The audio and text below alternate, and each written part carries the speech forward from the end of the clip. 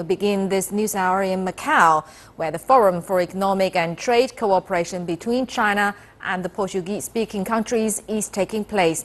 Premier Li Keqiang and his counterparts from Portugal, Cape Verde, Guinea-Bissau and uh, Mozambique are in attendance. The CCTV's Wang Tongxuan has the story. Every three years, leaders from China and seven Portuguese-speaking countries meet in Macau to explore new areas for economic and commercial cooperation.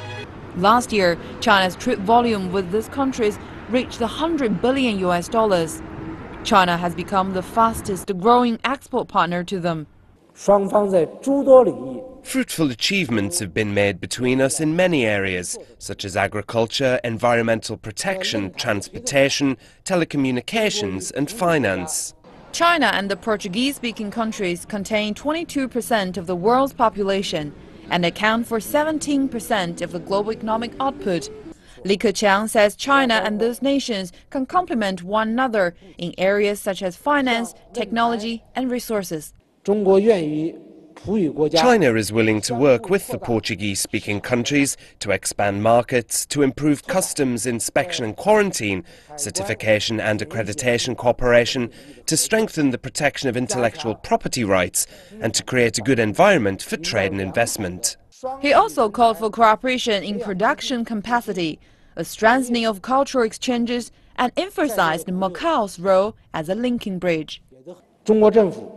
The central government fully supports Macau as a platform to service trade cooperation between China and the Portuguese-speaking countries, to build an economic and trade cooperation convention exhibition centre, a service platform for small and medium-sized enterprises, and a commodities distribution centre.